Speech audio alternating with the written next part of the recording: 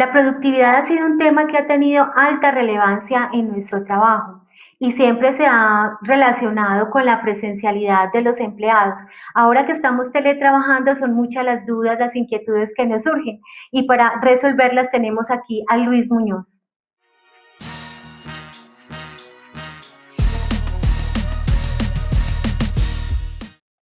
Luis, te saludo y te pregunto, ¿qué puedo hacer para mejorar mi productividad y la de mi equipo de trabajo? Una técnica que yo recomiendo para mejorar la, productividad es la gestión basada en objetivos o gestión basada en promesas. Lo que buscamos con esto es llevar de las tareas simples a convertirlas a un compromiso. Y eso se logra también con tres elementos. El primero es definir claramente el alcance, o sea, lo que se tiene que hacer con esa tarea, el objetivo. El segundo elemento es el responsable. ¿Quién es el responsable realmente de, hacer esa tarea que ya se definió claramente? Y el tercer elemento es el tiempo en el cual se debe hacer. Sin este tiempo son simplemente intenciones. Cuando le ponemos una fecha, cuando la persona que designamos como responsable eh, nos dice esa fecha, obtenemos un mayor nivel de compromiso para con la tarea. Entonces, con esos tres elementos pasamos de una tarea a un compromiso y tenemos mayores probabilidades de que se cumpla.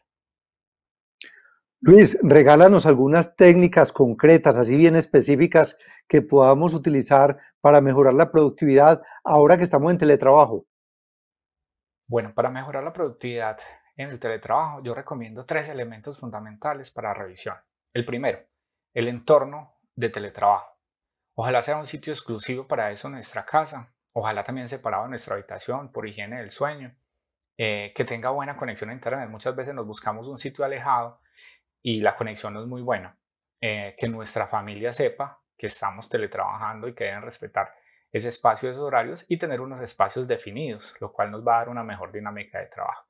El segundo elemento es trabajar por objetivos, que las personas sepan qué objetivos deben cumplir y en qué tiempo.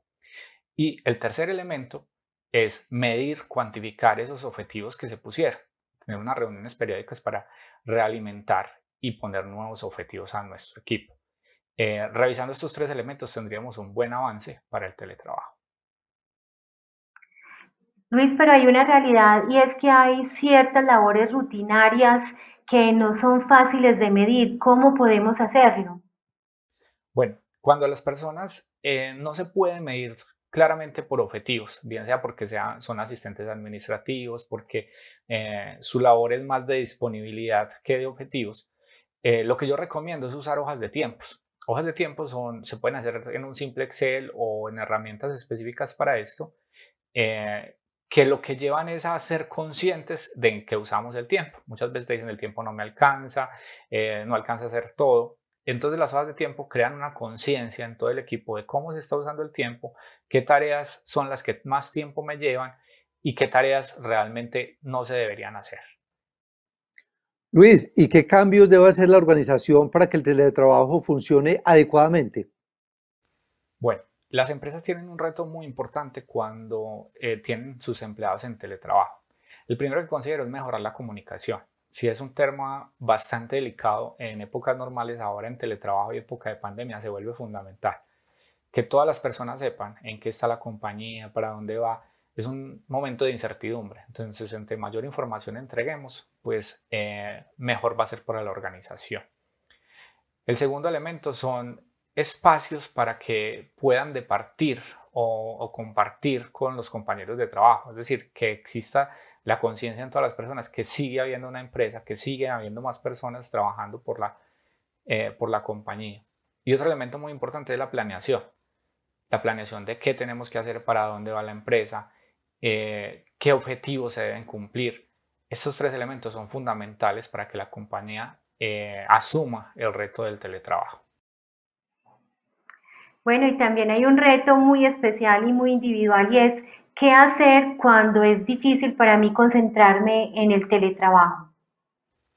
Una de las dificultades más comunes que escucho es que en el teletrabajo se dificulta más la concentración.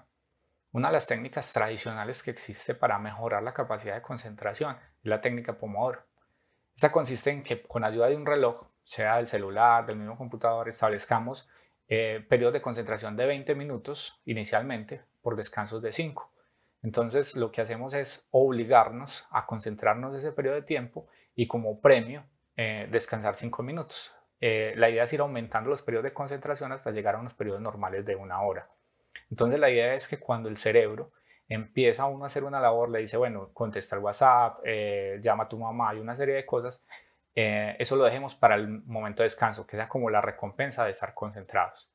Eh, si lo practicamos bien, va a aumentar nuestra capacidad de concentración y por ende nuestra productividad. Luis, una pregunta final. ¿Cómo me organizo cuando tengo muchas tareas y de pronto no sé cómo afrontarlas? Bueno, otra de, otro de los problemas que, escucho es que tenemos tanta, tanta ocupación, tantas tareas que no sabemos por dónde empezar y no nos rinde.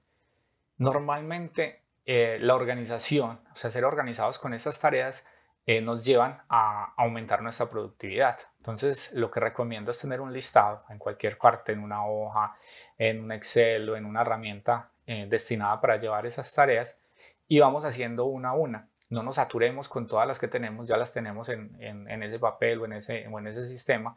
Y la prioridad es lo que estoy haciendo en este momento y todo lo demás. Y así ir eh, solucionando uno a uno los temas porque si empezamos a hacer varias cosas al mismo tiempo, nuestra productividad disminuye y nos saturamos y nos estresamos, nos estresamos mucho más.